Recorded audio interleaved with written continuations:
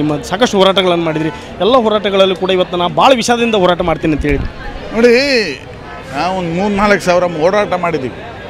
ಆದರೆ ಇವತ್ತು ನನ್ನ ಹೃದಯದಿಂದ ಹೇಳ್ತಾ ಇದ್ದೀನಿ, ನನಗೆ ಭಯದಿಂದ ಮಾಡ್ತಾ ಇರೋದು. ನಾಳೆ ನನ್ನ ತಂಗಿಗೆ ನನ್ನ ತಾಯಿಗೆ ನನ್ನ ಮನೆಯವ್ರಿಗಾಗಿದ್ರೆ ನಾನು ಸುಮ್ಮನೆ ಇರ್ತಾ ಇದ್ನ? ಈ ಎರಡು ಸಾವಿರದ ಎಂಟುನೂರು ಮಹಿಳೆಯರು ಕೂಡ ನನ್ನ ಮನೆಯವರೇ, ನನ್ನ ತಾಯಿಂದಿರೇ. ನಾನು ಯಾವುದೇ ಕಾರಣಕ್ಕೂ ಪ್ರಜ್ವಲ್ ರೇವಣ್ಣನವರಿಗೆ ಶಿಕ್ಷೆ ಆಗೋ ತನಕ ಬಿಡೋದಿಲ್ಲ.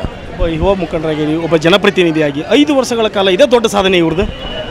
ನನಗಂತೂ ಗೊತ್ತಾಗ್ತಾ ಇಲ್ಲ ಎರಡು ಸಾವಿರದ ಎಂಟುನೂರು ವೀಡಿಯೋ ಮಾಡಿದ್ನ ಇಲ್ಲ ಎಂ ಪಿ ಮಾತಾಡಿದ್ನ ಅವನು? ಅವನಂಥ ವಿಕೃತ ಕಾಮಿಗಳಿಗೆ ತಕ್ಕ ಪಾಠ ಕಲಿಸ್ಬೇಕು ಇನ್ನು ಮುಂದೆ ಯಾವನ್ ಕ್ಯಾಮ್ರಾ ತೆಗಿಯೋಕ್ಕೆ ಮಹಿಳೆಯರನ್ನ ಅಟ್ಯಾಕ್ ಮಾಡೋಕ್ಕೆ ಭಯ ಪಡಬೇಕು ಆ ರೀತಿಯ ಒಂದು ಕಾನೂನನ್ನು ತಂದು ಅವನಿಗೆ ಶಿಕ್ಷೆ ಆಗಬೇಕು. ಒಂದು ವಿಡಿಯೋಗಳು ವೈರಲ್ ಆಗ್ತಾ ಇವೆ. ಚುನಾವಣೆ ಮುಗಿತಿದೆ. ವೋಟ್ ಮಾಡ್ತಾನೆ ಎಸ್ಕೇಪ್ ಆಗ್ತಾನೆ.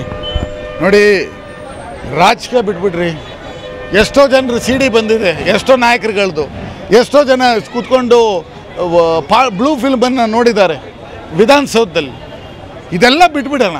ಆದರೆ ಇವನು ಮಾಡಿರುವಂಥ ಕೃತ್ಯ, ಇದು rape is a sexual predator I ನನಗೆ ಅವನು ಗೊತ್ತು ಅಂತ ಹೇಳೋಕ್ಕೆ ನನಗೆ ಅಸಹ್ಯ ಆಗ್ತಾ ಇದೆ. ಇಂಥ ಹೀನಗಟ್ಟವನಿಗೆ ತಕ್ಕ ಶಿಕ್ಷೆ ಆಗಬೇಕು. ರಾಜ್ಯದ ಮಹಿಳೆಯರಿಗೆ ಏನು ಹೇಳಕ್ಕೆ ಸಂದಿ ಅದು ಯುವ ಮುಖಂಡ ಏನು ಹೇಳಕ್ಕೆ ಇಷ್ಟಪಡ್ತೀನಿ ಪ್ರತಿಯೊಬ್ಬ ಈ ಕರ್ನಾಟಕ ರಾಜ್ಯದ ಮಹಿಳೆಯರೇ ನಿಮಗೆ ಯಾರಿಗಾದರೂ ದೌರ್ಜನ್ಯ ಆಗಿದ್ದರೆ ಭಯ ಪಡಬೇಡಿ.